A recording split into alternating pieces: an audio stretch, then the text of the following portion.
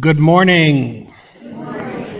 Grace and peace to you in the name of our Lord and Savior, Jesus Christ. Welcome this morning to all joining us uh, in person and to those joining us from home online. Welcome this morning as we are gathered here in the Spirit to worship God, to sing God's praise, and to listen for God's word to us.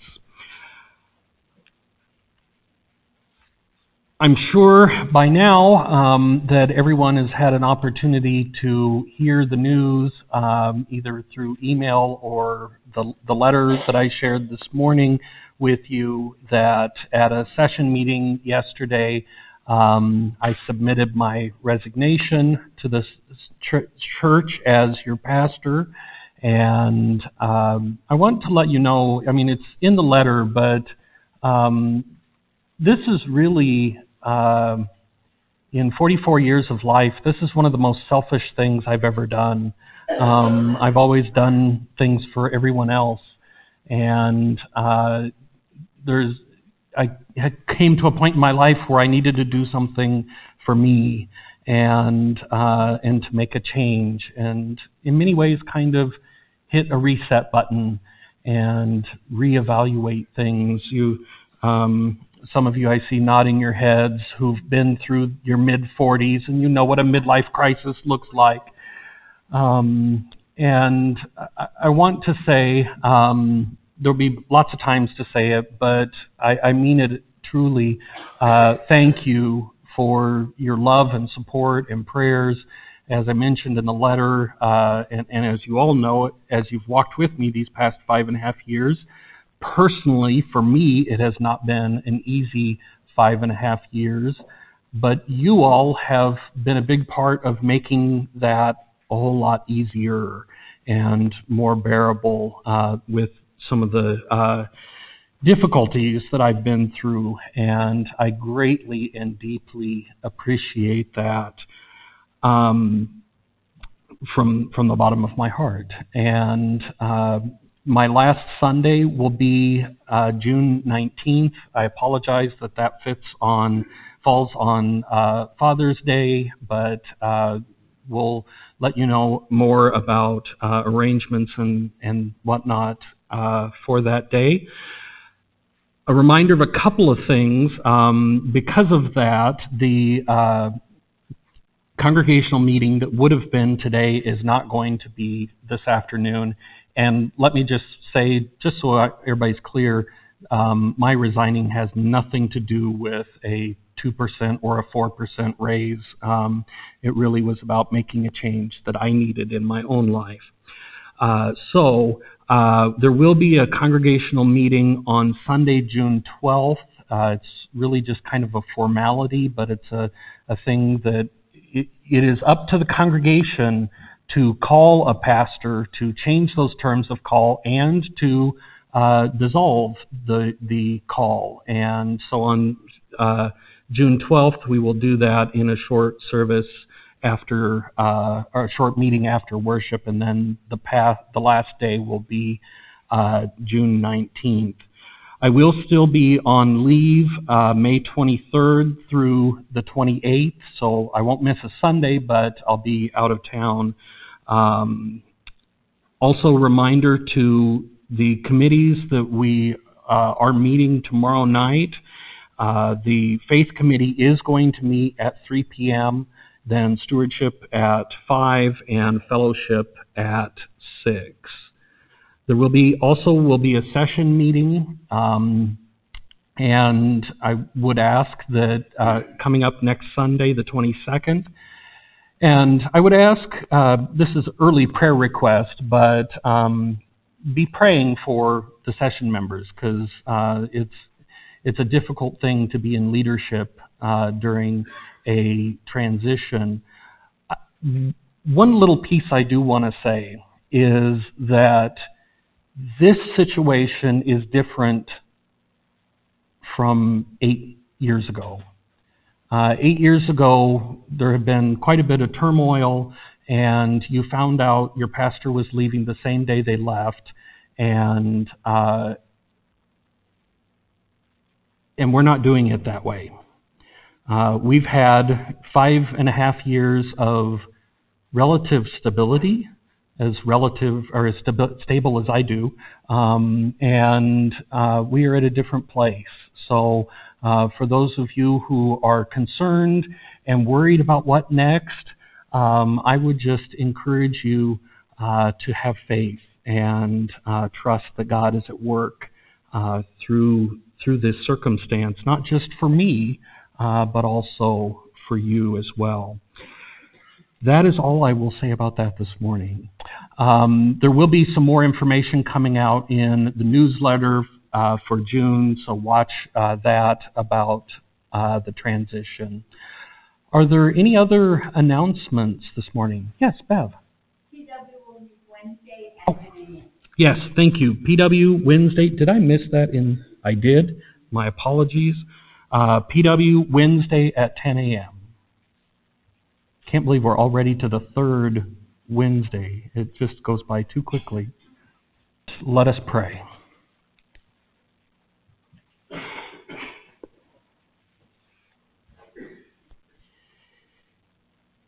In this season of Easter rejoicing, we offer up our prayers and our thanksgiving, knowing that you, O God, raise us to new life in Christ. We pray this morning for the well being of your creation. We thank you, O God, for the beauty of this earth. And we pray that we may pro- promote its ability to care for and provide for us through the bountiful seas and the beautiful land and each of your precious creatures, great and small. We pray, O God, that you raise us to new life in Christ.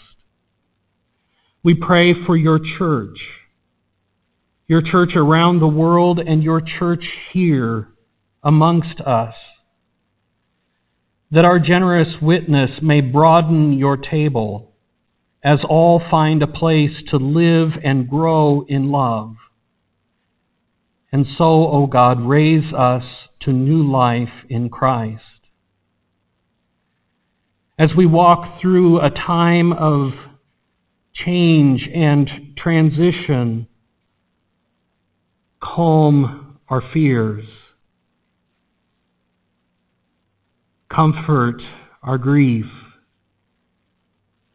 and encourage us with hope. Raise us to new life in Christ. We pray, O God, for the welfare of your world, that all leaders and all people, young and old, would strive to live together in peace and in harmony while serving the common good. O God, raise us to new life in Christ. We pray for all who suffer violence, pain, or grief. We pray that they will know the comfort of your presence as you wipe every tear from their eyes. O God, raise us to new life in Christ. For the love made known to us in Jesus Christ through this community, and for this and all other blessings, we give you thanks and praise. O God, raise us to new life in Christ. For all who have gone before us. We pray that you will bring them to the fullness of your joy, where mourning and pain and sorrow will be no more. O God, raise us to new life in Christ. For all of the secret hurts and pains that we carry in our hearts, the ones that we worry to whisper. We lift them up to you in silence.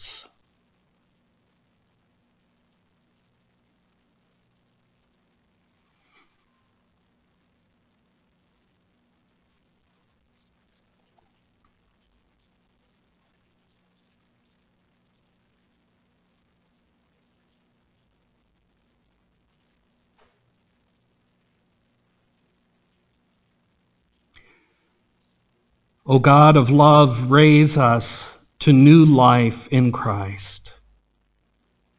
For the many blessings and for answered prayers, we give thanks to you, O God, through our Lord and Savior Jesus Christ, who taught us to pray. Our Father, who art in heaven, hallowed be thy name. Thy kingdom come, thy will be done, on earth as it is in heaven. Give us this day our daily bread, and forgive us our debts, as we forgive our debtors. And lead us not into temptation, but deliver us from evil. For thine is the kingdom, and the power, and the glory forever. Amen. Let us pray.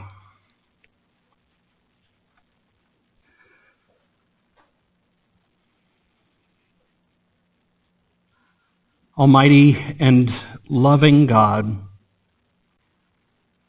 by your Spirit open our hearts, our minds, our ears, our hands to receive your word. Help us to hear what you are whispering to us this morning. May our love be rekindled through your Spirit and through your Word. And may we be empowered by your Spirit to take that Word out into the world. We ask in Jesus' name. Amen. Our first scripture reading this morning comes from Psalm 148. Praise the Lord. Praise the Lord from the heavens. Praise the Lord from the heights. Praise him, all his angels. Praise him, all his hosts. Praise him, sun and moon. Praise him, all you shining stars. Praise him, you highest heavens, and you waters above the heavens. Let them praise the name of the Lord, for he commanded and they were created. He established them forever and ever. He fixed their bounds which cannot be passed. Praise the Lord from the earth, you sea monsters and all deeps, fire and hail, snow and frost, stormy wind fulfilling his command mountains and all hills, fruit trees and all cedars, wild animals and all cattle, creeping things and flying birds, kings of the earth and all peoples, princes and all rulers of the earth, young men and women alike, old and young together, let them praise the name of the Lord. For his name alone is exalted. His glory is above earth and heaven. He has raised up a horn for his people, for all his faithful, for the people of Israel who are close to him. Praise the Lord.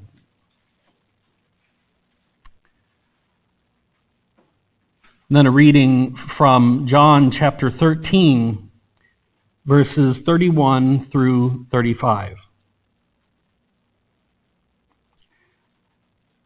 This is following the Last Supper and foot washing of the disciples.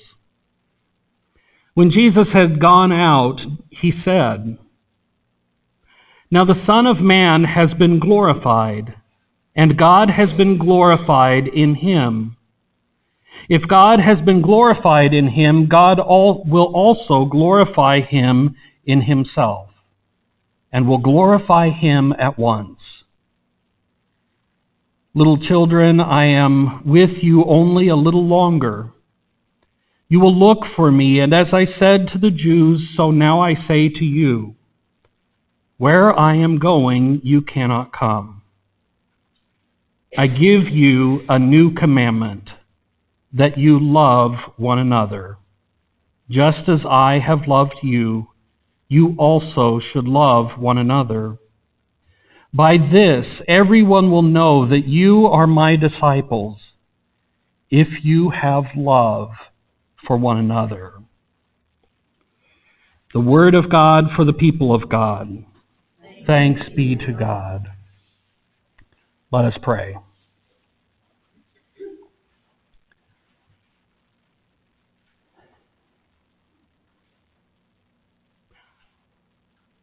Almighty God, may the words of my mouth and the meditations of all of our hearts be acceptable in your sight, O Lord, our rock and our Redeemer.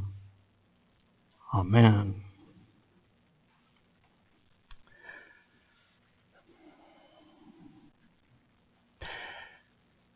Anyone who tells me that God can't speak through the lectionary, that God can't speak to our current day by prescribed scripture verses that were chosen hundreds of years ago and somehow apply today, if they say that, I will argue with them. This morning is one of those times. One of those times when God speaks to us directly into our lives and our circumstances. In fact, I had, al- I had almost chosen not to go with the text for this morning. Quite frankly, because it gets a little confusing and wishy washy when we're applying this to our lives. Let me set the context for the gospel reading. Jesus has just had supper with his disciples. He has told them that one of them will betray him. And we know who that is. It's Judas. They all find out because he dips his bread in the cup with him. And Jesus sends Judas on his way. The disciples are still trying to wrap their minds around exactly what is happening, exactly what is Judas going to do to betray him, and what is this going to lead to. Needless to say, regardless of the uncertain future, they are carrying a deep and heavy pain as their friend, their teacher, says to them, Little children, I am only with you a little longer.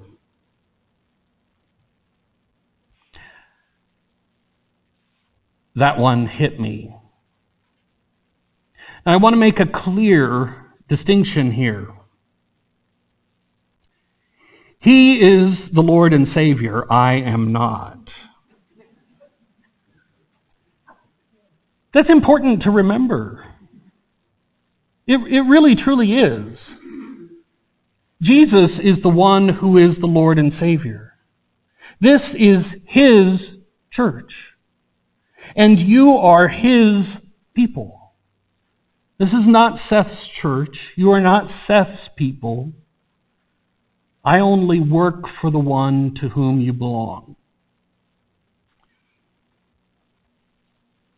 But one of the things I often tell you is try to put your feet in the sandals of the disciples. And boy, this morning we know how that feels. That ache and that pain of knowing that a friend is going to be leaving, and the uncertainty of the future, what it will look like. It's not hard to imagine what the disciples were feeling that night, is it?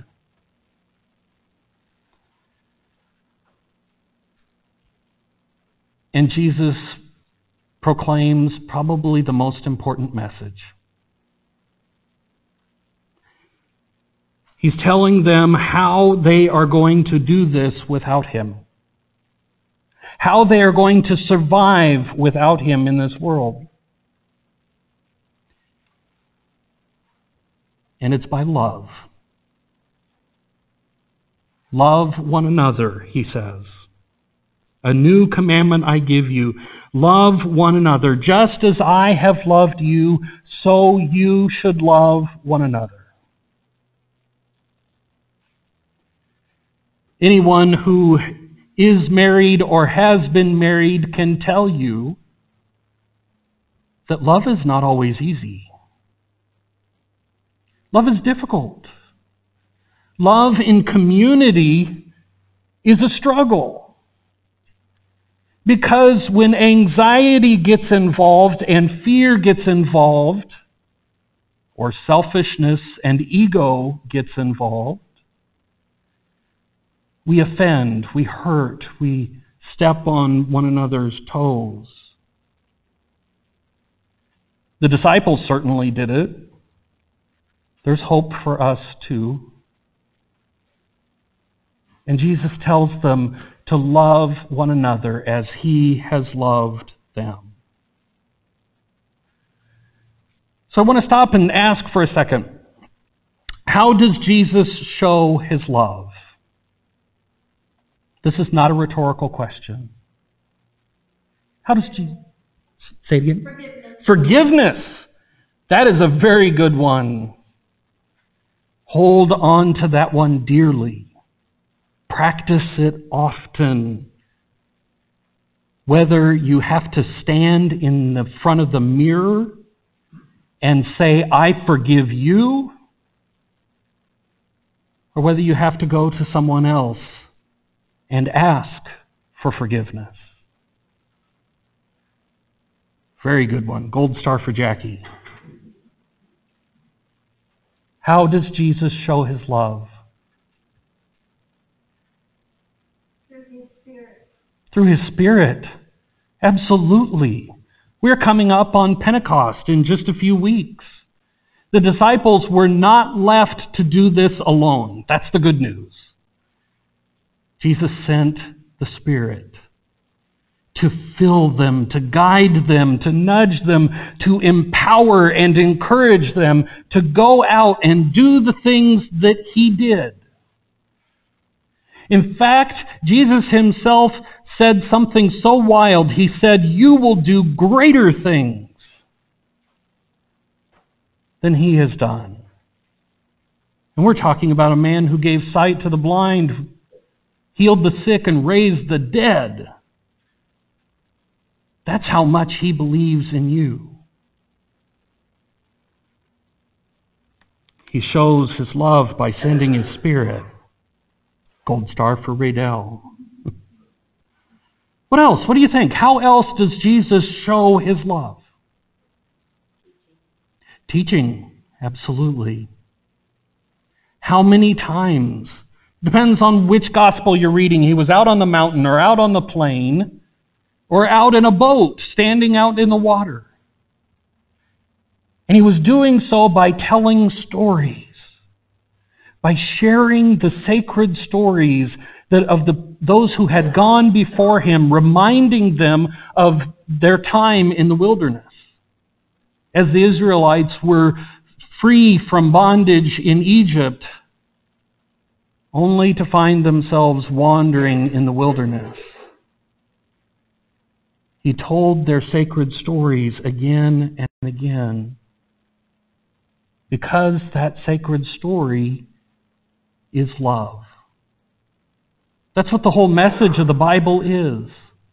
It is God's love story for a people who, quite frankly, messed it up again and again and again. But from the beginning to the end, it is all about God's love and faithfulness. Another gold star. What else? He went out to them. He went out to them. Absolutely. He went out to them. He went out to the people. In fact, he called his disciples and he sent them out in pairs. So not only did he go out, but he sent them out to go out and proclaim the message. It wasn't just about gathering in church on Sunday morning. It was also about being sent. How else does Jesus show his love? Yes. Gold star for Kathy. He gave his life. He gave it all. He tells us that greater love has no one than to give up their life for a friend. Now, thankfully, most of us don't have the opportunity to jump in front of a bullet every day, though there are some.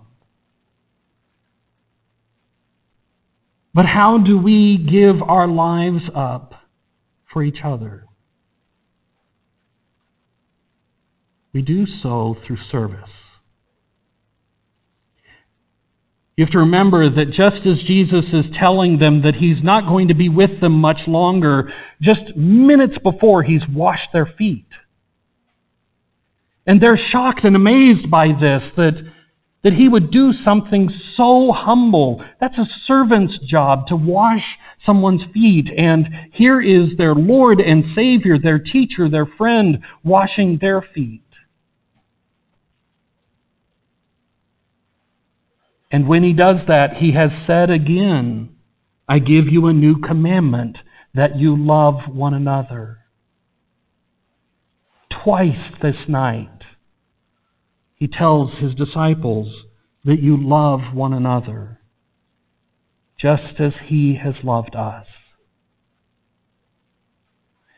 If you take anything with you from the five and a half years that I have spent with you, let it be this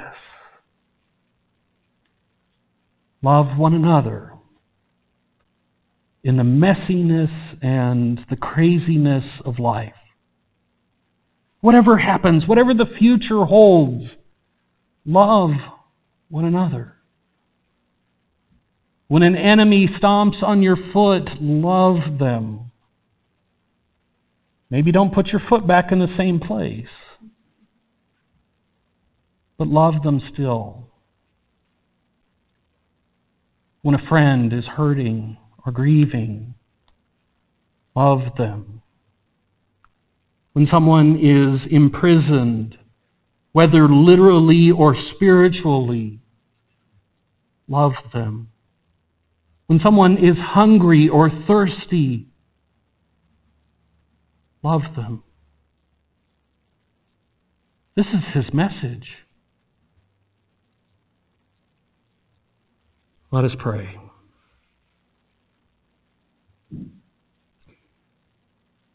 Loving God, you sent your Son to teach us how to love. And we learn from him that love means sacrifice. It means giving of our time, giving of our hearts. It means risking, risking joy and also pain. And loving one another means service. Help us, O God, to continue each and every day to love as you have loved us, as we seek to serve one another, especially in times of transition and change. When fear creeps in, drive it out, O God, with your perfect love. Where darkness shine, where darkness and shadows are before us, shine the light of your love that we might see our way back to you. And help us to always, through your Spirit, know the depth of your love for us in Jesus Christ. Amen. Please join me in the affirmation of faith as is printed in the bulletin. This is the good news that we have received, in which we stand, and by which we are saved, if we hold it fast, that Christ died for our sins according to the Scriptures, that he was buried, and that he raised on the third day, and that he appeared first to the women, then to Peter and to the twelve, and then to many faithful witnesses.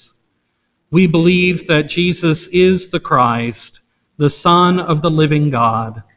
Jesus Christ is the first and the last, the beginning and the end.